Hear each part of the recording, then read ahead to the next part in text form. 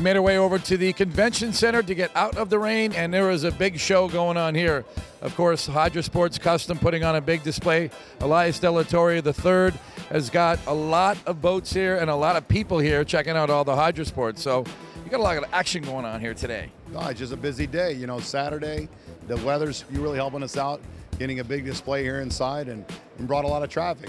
You know, usually we're the big focal point here at the boat show. We, you know, we open the boats up where you can really see them all, and you can see what our company's all about. See all our custom builds. The 53 uh, was launched in Miami two years ago. Uh, it was a big hit. There was hundreds of people there for that launch. Since then, you've built a lot of boats. We're up to about unit number 18. I mean, we're about sold out about another 12 months. You know, a lot of the boats you'll see, even all the boats that I've already built, they're all one-off. You will not see one boat just like the other. They're all with their own personality built for their owners.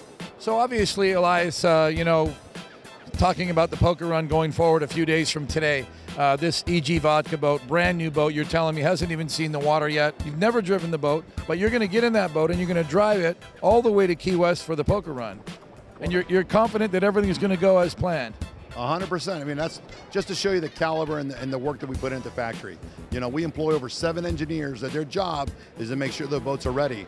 And we're going to show it. Here we're going to have, that's over a 200 day build back there that you see behind us. Sure. And we're going to launch that boat come Thursday morning, untested, never wet, and we're going to run it as fast as you can go that 100 miles to Key West.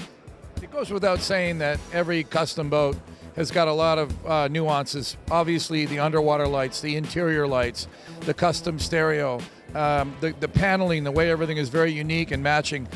Is there anything? I haven't been in the boat yet. Now you tell me.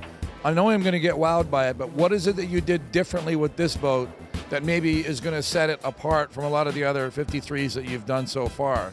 You know, just like all my 53s, I mean, it's it's a personality. I mean, you go on the boat, and it's a personality to the boat. You're not going to go out there. You're going to look at many other brands. That okay, here's a production boat. Here's a boat that looks like everybody else. When you get on that boat, every square inch has a personality, and there's a reason for it. You're going to see many crazy options in there. You're going to see.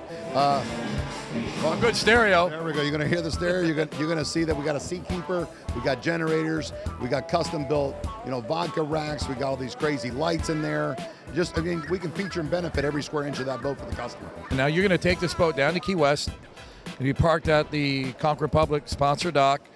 It's going to be the biggest boat that we've ever had on that dock on display. well, it's going to be the biggest. It's going to be the loudest too. So I don't think we're going to require any music or entertainment. When we pull up, you're going to feel it and see it.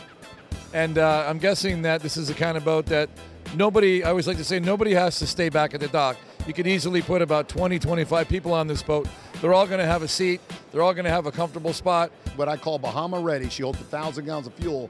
She'll be about 41,000 pounds. Oh my goodness, 40, 41,000 pounds.